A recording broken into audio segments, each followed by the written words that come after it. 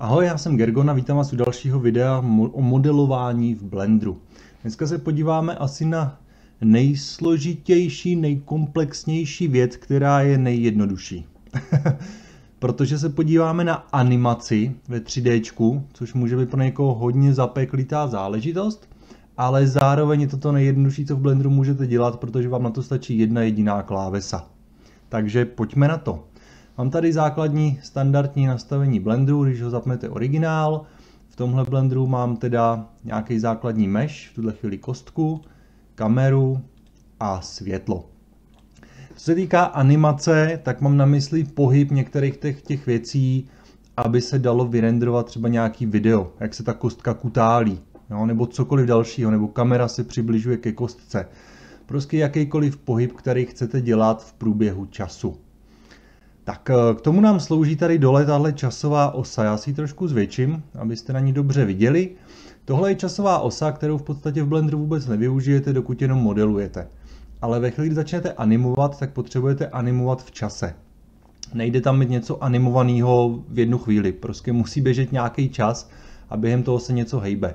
Ten čas tady běží dole na ty časové ose a vidíte, že standardně tady je napsaný start na prvním políčku a konec na 250. políčku. Pokud budete používat nějakých 25 eh, snímků za vteřinu, tak je to dejme tomu 10 vteřinový video. Tahle ta dolní časová osa. Tak. A co s tím? Je to naprosto jednoduchý, primitivní, protože vy cokoliv, co v Blenderu děláte, nebo dobře, 90% věcí, které v Blenderu děláte, tak můžete měnit v čase. A tady na tu časovou asu potřebujete zaznamenat takzvané klíčové snímky, v které fázi to je v jaký pozici a v které fázi to je na konci. A ten Blender už si sám dopočítá ten rozdíl mezi tím. Takže například já budu chtít, aby tahle kostka mi tu přejela dopředu, posunula se dopředu. Ta klávesa ta jediná klávesa, kterou se dneska potřebujete naučit, je měkké I. Ičko jako indián třeba. Takže když zmáčknete měkké I, tak se vám tady objeví takovýhle menu keyframe. A já vzhledem k tomu, že chci, aby ta kostka uh, se posunula v prostoru, tak já potřebuju klíčový snímek její lokace, jejího umístění.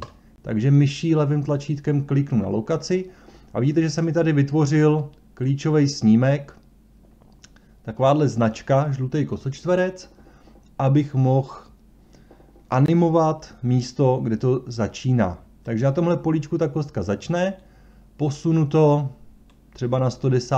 snímek, tu kostku vezmu, pomocí G ji posunu po ose Y dopředu a teďka, když jsem ji přesunul na nový místo, tak znova zmáčknu klávesu I, měkké I a znova označím její lokaci.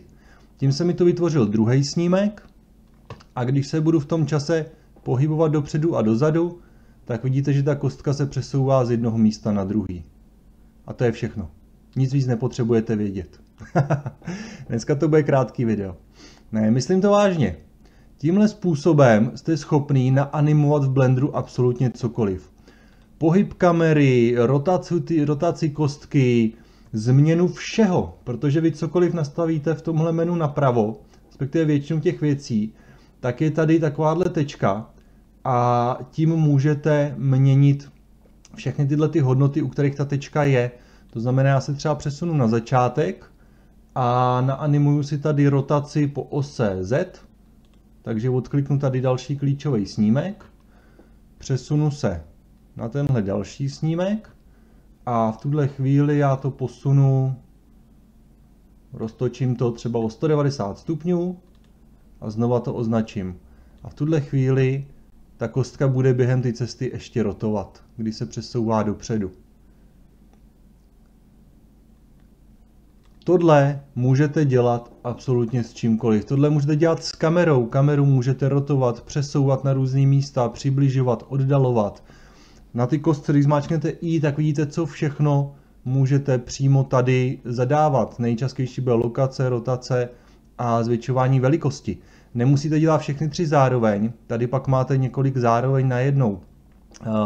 Jakoby, že nemusíte dělat každou samostatně. Nemusíte udělat klíčový snímek na lokaci, potom na rotaci a potom na velikost, ale můžete třeba lokaci a rotaci udělat tady zároveň, lokaci, rotaci a velikost taky zároveň, jo, lokaci a velikost.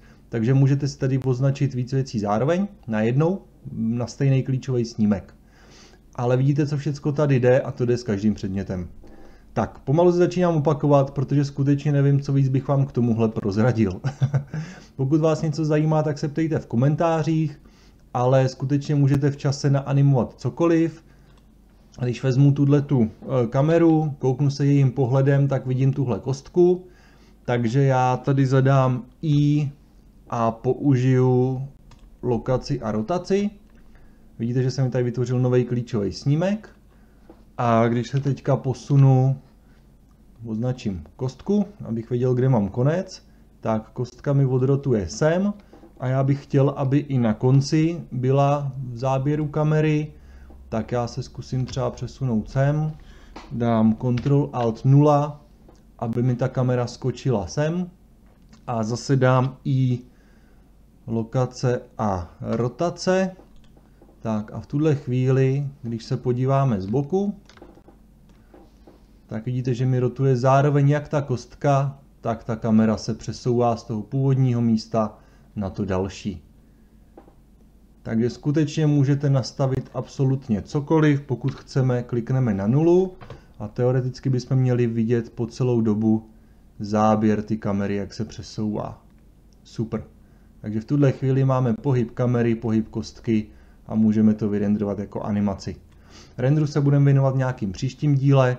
Pro dnešek si myslím, že to stačí. Zkuste si s tím pohrát, zkuste si měnit všechno, co v tom Blenderu máte třeba nastavený, vymodelovaný. Když jsme modelovali tu šachovnici, tak můžete tímhle způsobem přesouvat všechny ty figurky na šachovnici. Nechat kameru na jednom místě, třeba ze zhora a naanimovat si celou šachovou hru, nebo spíš dámu jsme to měli. Jo, když budete chtít cokoliv měnit tady napravo, tak tam, kde to jde, nějakých materiálů, něco takový, tak tady můžete klíčovat i změnu barvy. Můžete vlastně veškeré vlastnosti, které tady nastavujete a měníte, tak je můžete naklíčovat vždycky ten úvodní a závěrečný klíčový snímek posunete a něco změníte. Tuhle chvíli jsme nic nezměnili na začátku, takže zkusíme třeba tu barvu ještě naanimovat. Začneme na bílý a když se přesuneme na konec, tak změníme barvu třeba na zelenou a znova to naklíčujeme. Tak a v tuhle chvíli, když se podíváme do materiálu, tak by se nám měla měnit dokonce v čase i barva ty kostky. Jo, takže vidíte, že si fakt můžete hrát s čímkoliv chcete a jediný, co potřebujete, je buď klikat tady na ty tečky na pravé straně, anebo si pamatovat tu klávesu I. Tak jo, to je pro dnešek všechno, užijte si vaši animaci, moc díky, že mě sledujete, mějte se krásně a uvidíme se zase příště.